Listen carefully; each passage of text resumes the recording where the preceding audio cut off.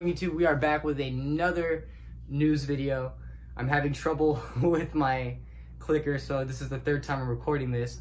In fact, I'm thinking I'm gonna go check real quick. Yeah, it's going. All right, for sure. Um, if you're wondering why my arm looks like this, I'm icing. I threw a lot of pitches today. If you guys wanna know how to take care of your body after pitching, uh, drop a comment and I'll make videos on what you should do, stretches specifically, or um, maintenance after you pitch. Um, for kids or for adults who are learning or anywhere, any age group, I can teach you guys how to take care of your arm. Um, so let's get to the news. So Daniel Vladar signed a three-year, $2.25 million extension with Boston. Looks like he's going to be the goalie of the future there.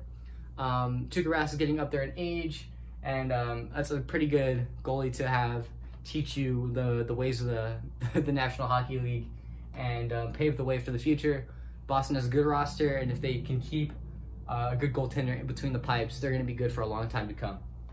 Uh, Pittsburgh extends Joshua Maniscalco, a three-year, $2.75 million deal. He looks like he's going to be more of an offensive defenseman, but I could be wrong about that. Um, Pittsburgh is getting a little bit older, and a young defenseman on this team could really make a difference for them and push them to the next level if it's still there within them. Still got Malkin, still got Crosby.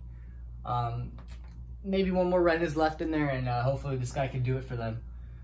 So Toronto uh, trades for Taijuan Walker in exchange for future considerations, and Taijuan Walker uh, can help them bolster up their starting rotation, which is a little bit weak.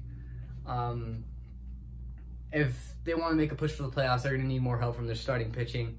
And uh, this is a guy that can, on a good day, push the roster to that next level, and on a bad day, just keep it where it is because they he's really good sometimes, and sometimes he just doesn't know how to throw a baseball for strikes. And uh, I used to see a lot of him when he was with Arizona because West Coast Dodger fan. We see him a lot. We saw him a lot. And uh, when he's good, he's good. And uh, when he's bad, he's really bad. Uh, Jarrod Dyson gets their hands on more of a defensive and speed substitution in Gerard Dyson in exchange for two point or sorry two hundred and forty three thousand dollars international bonus pool. Um, the Pittsburgh is obviously a really bad team right now. Uh, that bonus pool money could be used to attract some more international free agents and uh, fill up the farm system, which tends to be, a, which looks a little bit weak right now for them. Um, long way to go for Pittsburgh and international bonus pool, international prospects could really quicken that that wait time up for them. So the biggest trade on this list right here, we got Tommy La Stella. My goodness, I keep worrying that I stopped the video. Uh, Tommy La Stella going to the Angels. I'm sorry, Tommy La Stella going to Oakland. I'm all over the place. Like I said, this is my third time recording this. Uh, Tommy La going to Oakland in exchange for Franklin Barreto. Um, this trade makes no sense for me if you're on the Angels. Um, if I was an Angel fan, I'd be really, really upset because Tommy La Stella's been one of the better players on that team. I get it, they're not a good team. The Angels are trying to tank, but I feel like he didn't need to be the one to go. Um, maybe he's a free agent next year, which would make more sense. And uh, you just kind of gifted a rival team, probably one of the best infields in baseball right now, with Chapman at third, Semien at short, La Stella at second, and Olson at first base. Um, you never want to help your rivals out, and I think that's exactly what the Angels did here. And it just doesn't make sense to me. Uh, Vegas gets their hands on Raekwon McMillan, which is in a middle linebacker from Miami, um, for a 2021 fourth. McMillan also comes with a 2021 fifth from Miami. Uh, looks to be more of a run-stopping linebacker. Aggressive on the blitz, Miami was.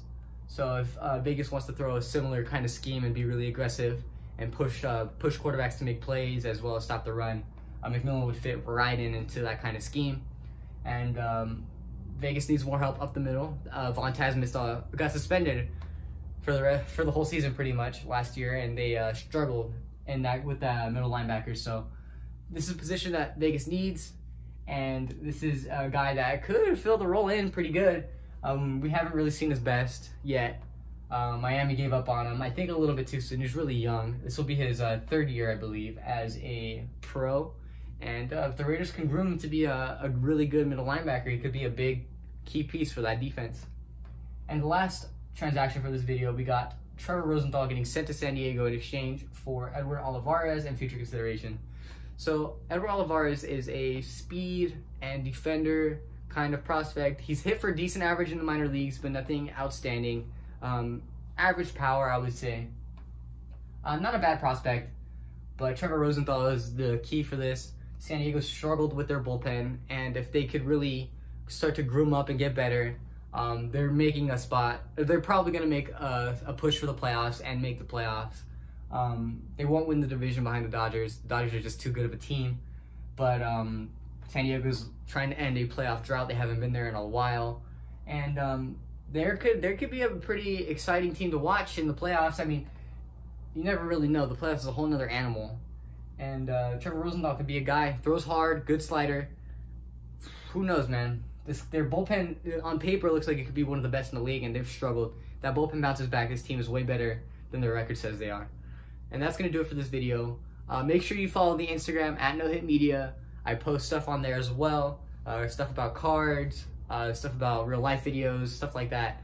Um, leave a like if you enjoyed, subscribe, comment what you guys think about these transactions, as well as what you want me to do in the future. Uh, subscribe, and I'll see you guys next time.